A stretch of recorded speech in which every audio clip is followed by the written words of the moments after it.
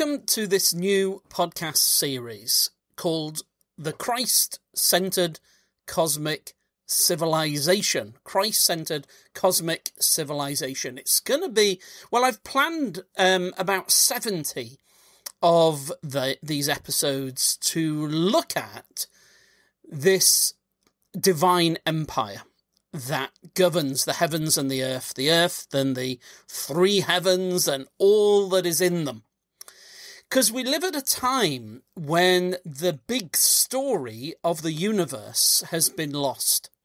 Nations, especially those heading out into a post Christian wilderness, are fragmenting into tribes because there's nothing big enough to hold everyone together, nothing big enough to capture hearts and minds, nothing that makes sense of life, the world, and everything all civilizations are built on a big story, an overall explanation of what's going on.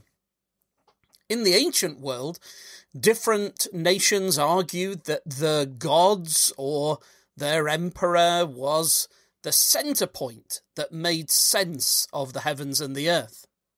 However, only the living God who created the heavens and the earth can provide the true big story of the heavens and the earth.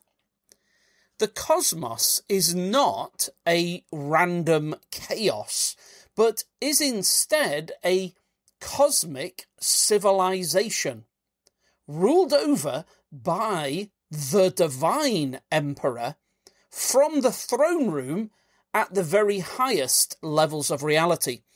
And so this is why Jesus, when the uh, his friends and followers said, um, "Teach us how to pray," he began with that kind of a perspective: "Our Father in heaven," and then from that everything flows.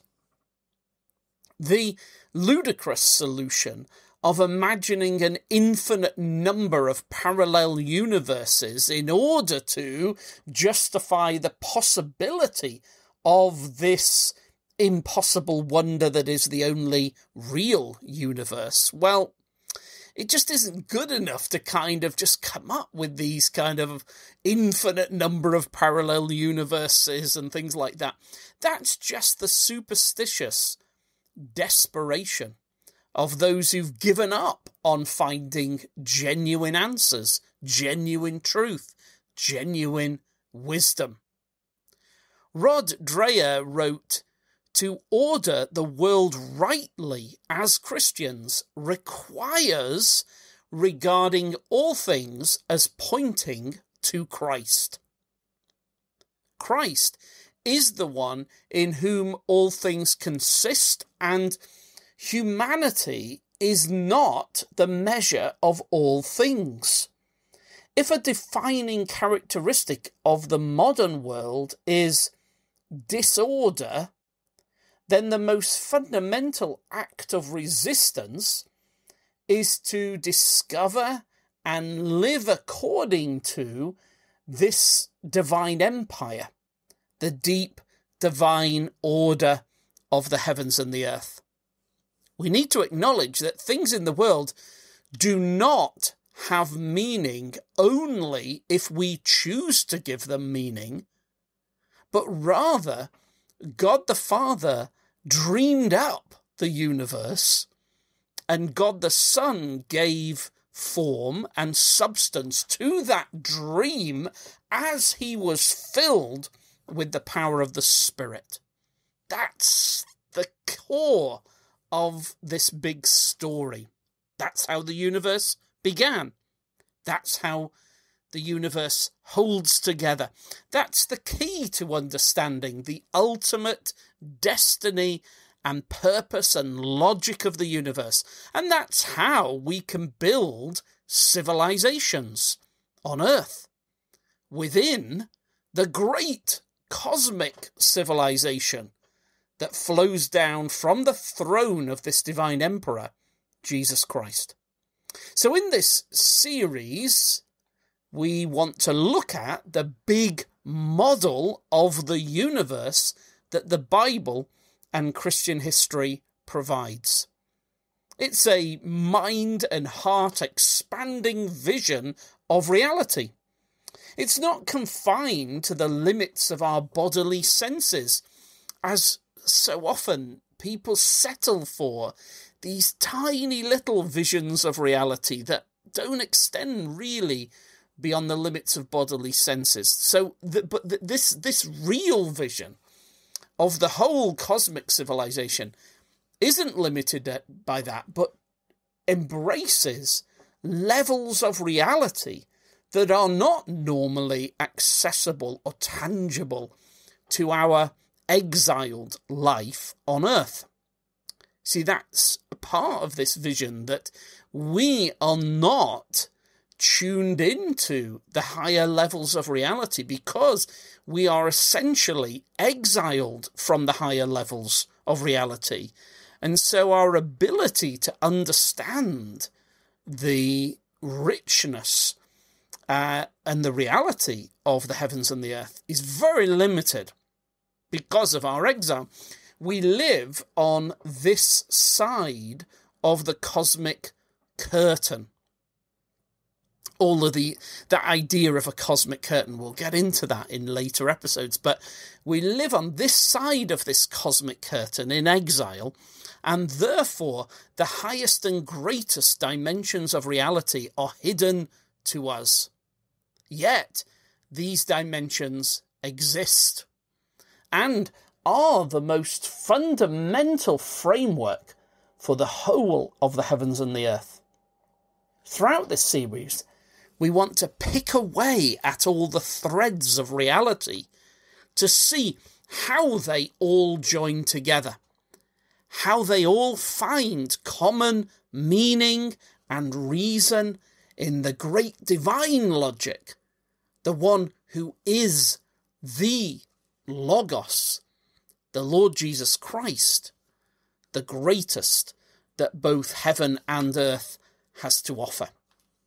Well, what we're going to do in the first um, two episodes is dig down into Colossians chapter 1 to set some foundations for this big vision of reality. So we'll begin with Colossians chapter 1 from verse 15 to 23. Well, we could start at verse 13 on this first occasion. Um, Colossians chapter 1 from verse 13 God has rescued us from the dominion of darkness and brought us into the kingdom, the empire of the Son he loves, in whom we have redemption, the forgiveness of sins. This Son is the image, the visible form of the invisible God. He is the firstborn over all creation. For in the Son, God the Son, all things were created things in heaven and on earth, visible and invisible, thrones, powers, rulers, authorities, all things have been created through him and for him. He is before everything. And in him, everything holds together. And he's the head of the body, the church. He's the beginning and the firstborn from among the dead, so that in everything he might have the supremacy.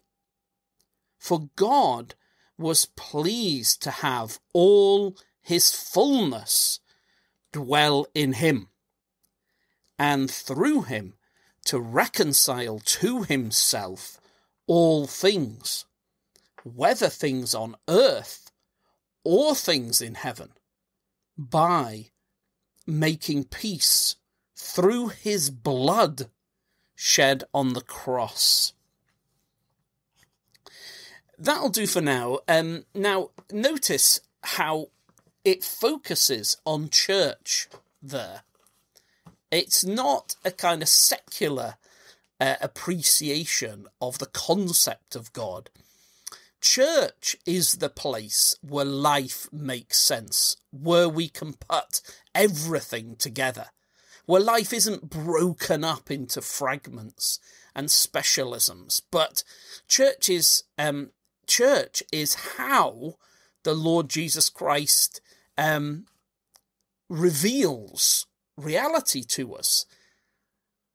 It's where we understand how the Lord Jesus Christ holds everything together.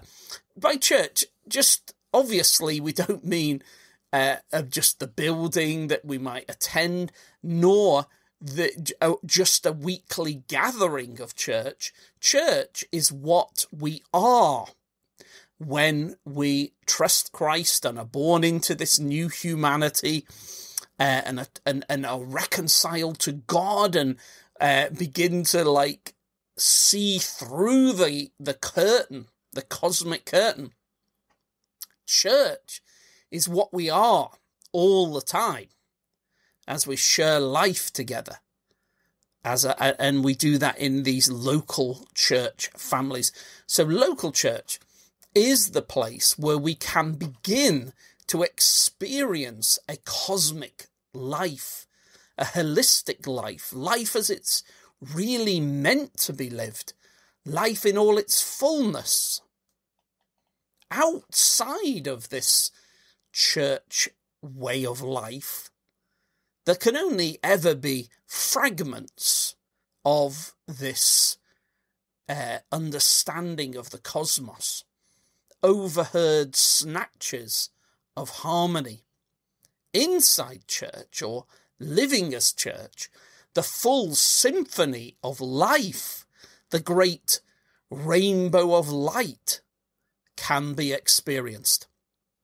And I want to be clear up front that this is it's this is uh, this podcast series. It's not about getting a quote Christian worldview, as if seeing the universe in a Christ centered way is kind of like an intellectual position, something that people can neutrally discuss or debate. No, no, it's not that. To see the universe as it really is, with Christ Jesus as the divine emperor at the center of the cosmic civilization. That is not merely an intellectual viewpoint or a, or a system, but it is embedded in church and a new humanity. It can only be seen, appreciated, understood as church.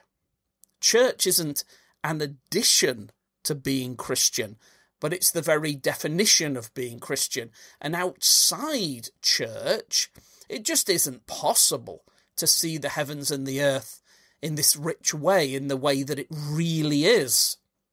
When we're outside church, um, angels and archangels and the heavenly levels of reality and the the way in which the glory of God fills the earth and the the way in which everything makes sense and the infinite worth and profound crisis of humanity. All of these things are just kind of theories and thoughts. But as church, all of these things are experienced realities. Outside church, life is essentially atheistic at least in a practical sense. Now, as we get into this, there is a strand of modern thought that says something like this. It says, "Well, I'm not a Christian. I don't. I'm, I don't belong to church because I believe in reason. I believe the world makes sense. I don't believe the world is an irrational place. I believe it's a rational place that can be understood by reason and science, and therefore I stay away from church. But that can that can never be a reason for not being a Christian for not being involved in church. Let's think about that. In the ancient world, it was very hard to make sense of the world, the cosmos. Or put it this way, it, it was very hard to understand why the world made sense at all. Uh, well, I say that this was the problem of the ancient world, but it is the constant problem of understanding the world outside of church and Christ.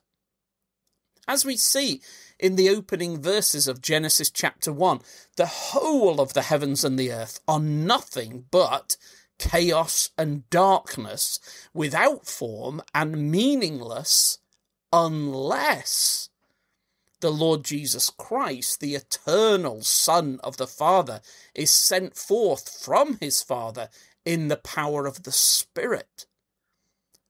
So the it's almost as if the, the, the natural state of the universe is just meaningless chaos, lifeless darkness.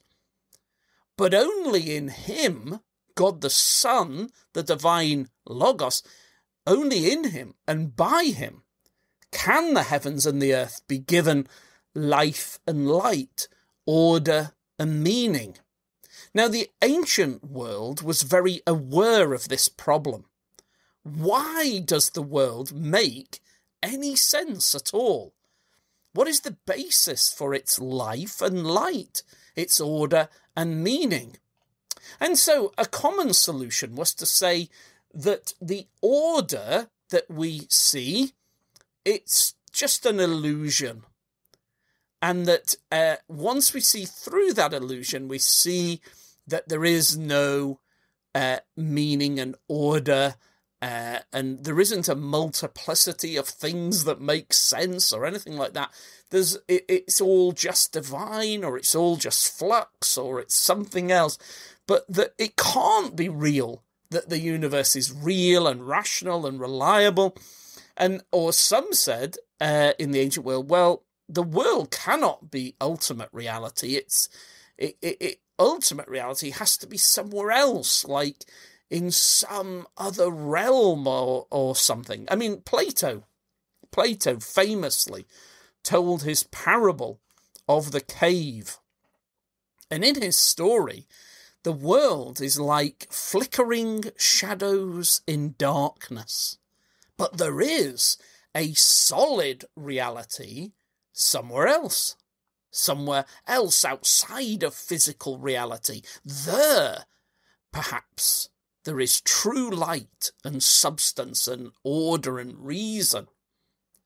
Plato thought that there was no real order and meaning in the physical world, but that we had to escape from this world order to kind of a, to kind of an intellectual world.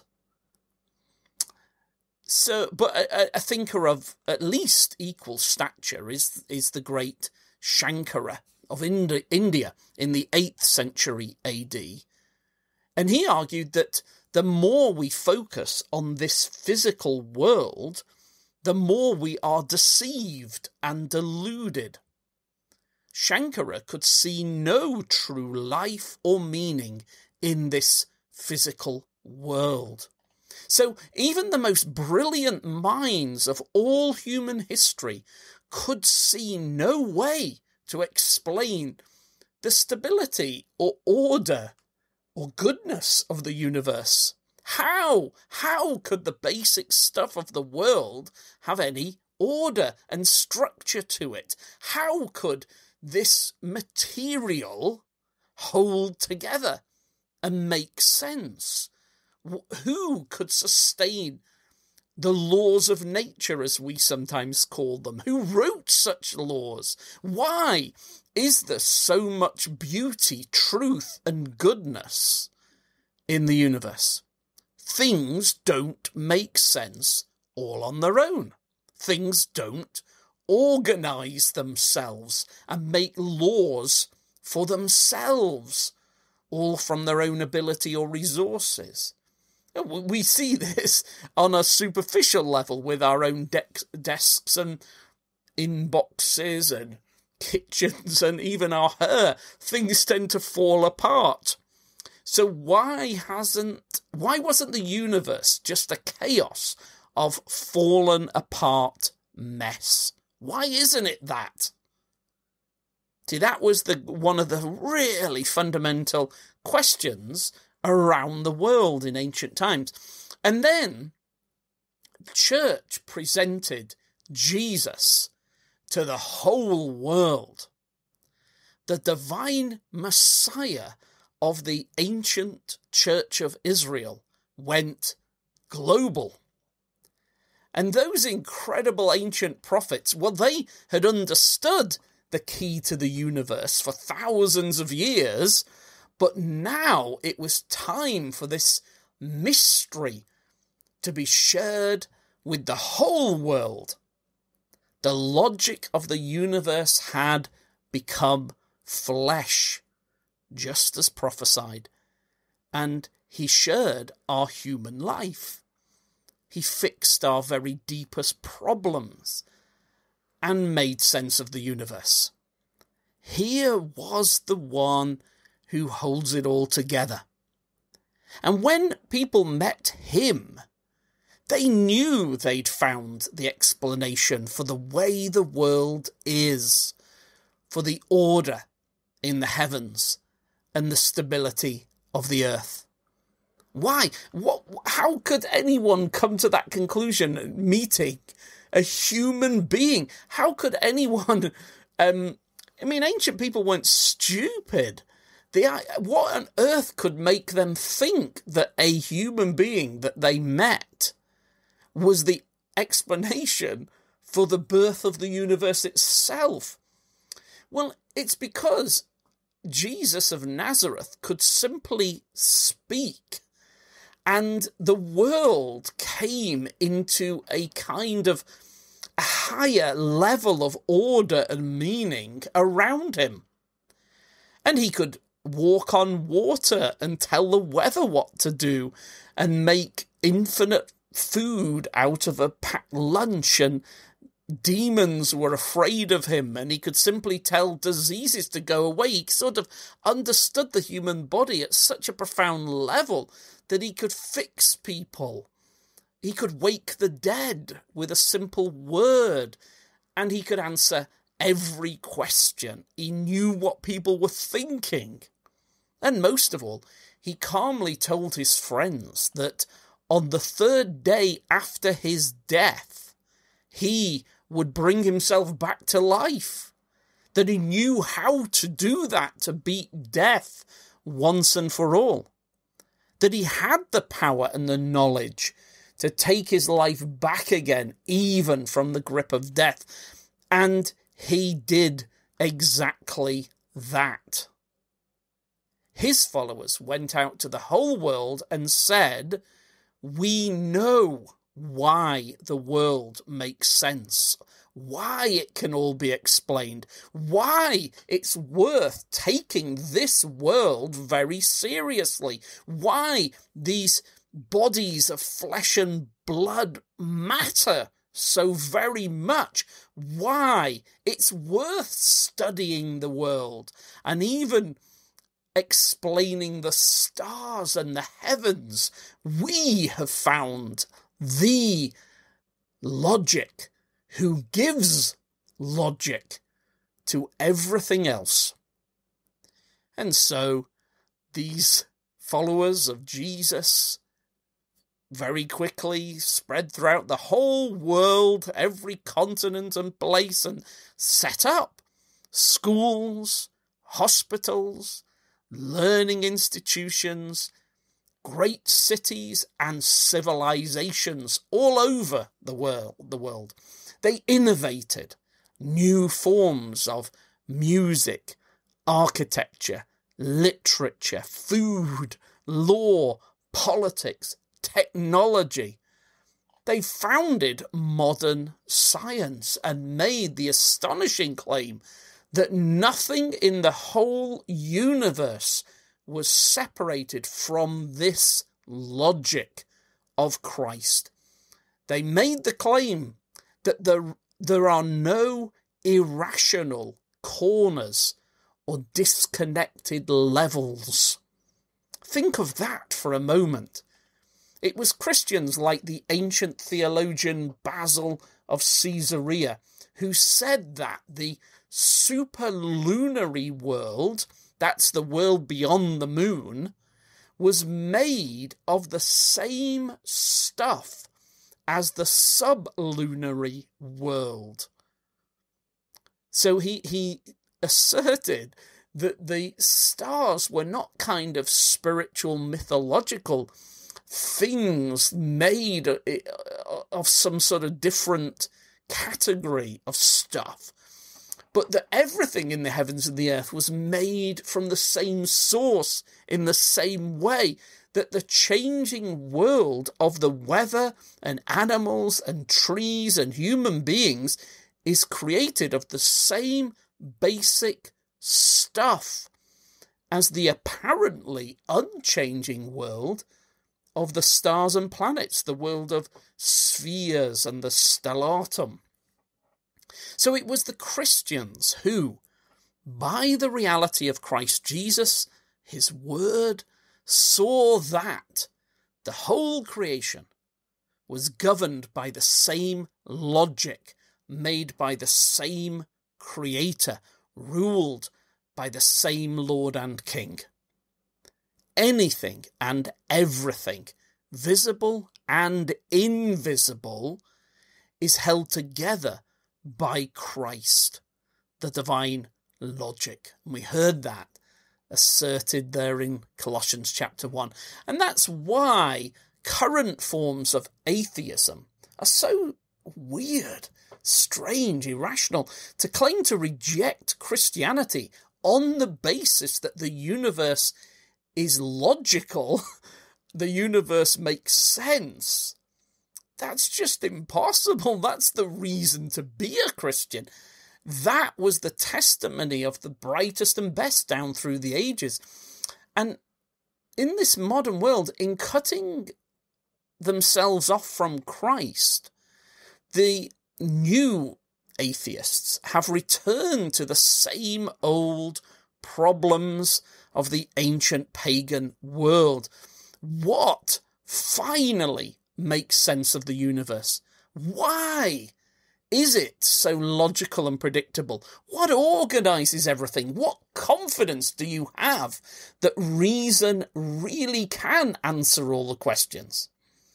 See, so many people today have stepped back into the irrational questions and ideas of ancient paganism and they have to just dream up strange mythologies like that infinite parallel universes, things like that, in order to try to make sense of things. And if we are merely the product of chaotic, random interactions of mindless particles, and that's there's nothing more than that, well, it is irrational. It's impossible to imagine that we would be capable of a rational understanding of a rational universe. If, if we are essentially mindless particles chaotically, randomly interacting, how could mindless particles give rise to true rational thought? How could mindless particles think the same logic that the stars, the universe has. It just doesn't make sense for us to imagine that we can make sense of it all. And so, what so many people do now is just settle for my truth, not the truth, certainly not a cosmic truth, not the final truth of all things. We just say, well, it's my truth. There are many truths. Or we sometimes just say, This is my lived experience. This is just how I experience life. That's my truth.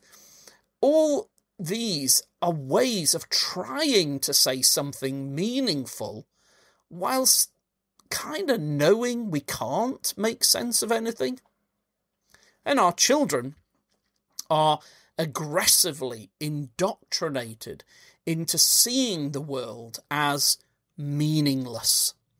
And our workplace, our politics, our entertainment, it all brutally and relentlessly does the same, mercilessly trying to force spectacles onto our eyes that filter out the beauty, truth, and goodness that's written into the fabric of reality. But when we turn to the Lord Jesus Christ, when we become part of church, we're stepping into the divine pool of light that has lifted humanity from warring and squabbling tribes to gen- to the to, to the only genuine light we've ever known. In Jesus, we come to the light and life of the world. Well, that's enough for this first episode. And in our second episode, we're going to begin, we're still going to be thinking about Colossians chapter 1, but we'll actually dip back to Proverbs chapter 8.